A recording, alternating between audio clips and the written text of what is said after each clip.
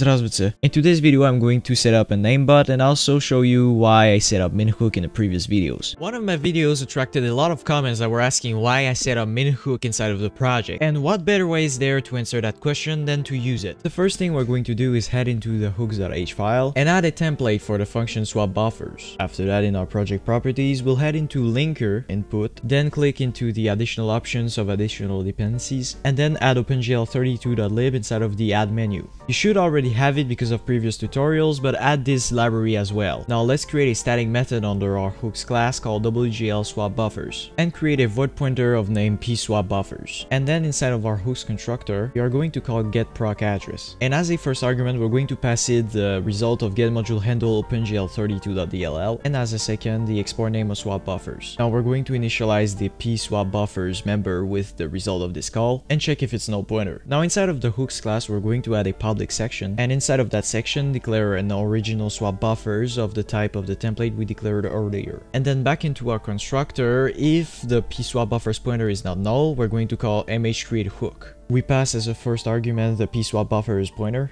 and as a second the static method we just defined, and the third, the original swap buffers pointer. Now, right at the end of our hooks constructor, we're going to call mhenableHook and pass as an argument mhAllHooks so it enables all the hooks we'll have made. And after all that, inside of the hooks.cpp, we're going to finally define the WGL swap buffers static method with returning a phooks original swap buffers call. And let's not forget to pass HDC. Now inside of the destructor of hooks, we are also going to call mhRemoveHook and pass as an argument pSwapBuffers. Now using that hook and the trick I showed in the older video in order to draw on the screen, you can make an IMGUI menu or an ESP. Now we're going to make a really basic aimbot. The first thing you're going to do is head into the main.cpp file and create four static variables of type JNI class instance that you can get from my JNI mapper library. Now as a first argument we're going to pass to each one the P and V interface variable but also as a second argument we're going to just pass the class we want like the type that we can get from the mapper. And as a last argument we're just going to provide a null pointer because we don't have the J object instance of that class in the memory yet. After this we're going to initialize a couple of these objects when the players enters a world. And we're going to constantly check if the local player is null pointer, because sometimes there's a bug where the local player is not loaded yet when you join the world, so that makes the game crash. And now down here we're going to wrap the old features in their own block and create a new block in which we will write the aimbot. Now the first thing we're going to do in that block is get an iterator of the entity list. After that we're just going to loop through the entity list using that iterator by calling the hasNext method which will just tell us if it has another element after the element we just gathered from it. And in order to get an element from it, which is an entity, we just have to call next. Now we're just going to check if the entity is null pointer and if it is the local player. If it is null pointer, we just break and if it is the local player, we just continue and iterate another time in the entity list. Now that we have checked if the entity was valid, we can set the current entity uh, instance to this entity instance. Now next up what we're going to do is check the current width of the entity we have and it's a weird trick I figure to deduce if it is a mob or not. And I, we're also going to check if it is dead. And if it is either of those conditions, we're just going to reiterate into the list. Now we are going to create a static bool called locked and check in the while loop if it is locked. After that, we're going to create a couple of doubles that we will use in order to extract the entity position and our local player position.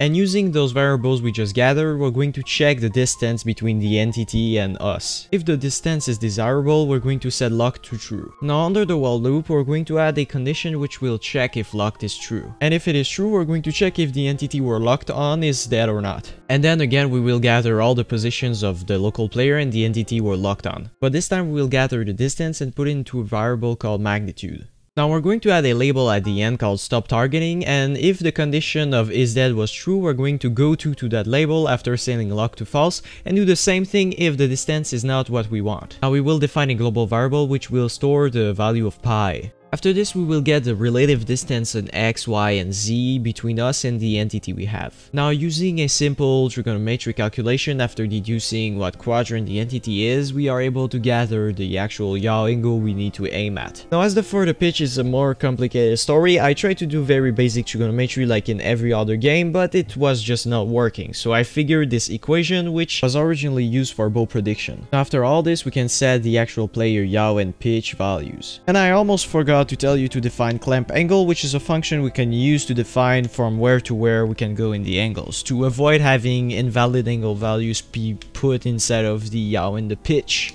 Now we're reaching the end of this video and the aimbot we just made is not that great, but if you know what you're doing you can probably fix a lot of bugs it has and make it even better, cause I really provide you the basics for iterating through the entity list and you can do really a lot of things you if you want. Now I wanted to announce that I created a Patreon in which you can sign up and get access to private code which I will not share in these videos and you will also get access to private videos and also private help. Now thanks for watching this video and I'll see you in future ones.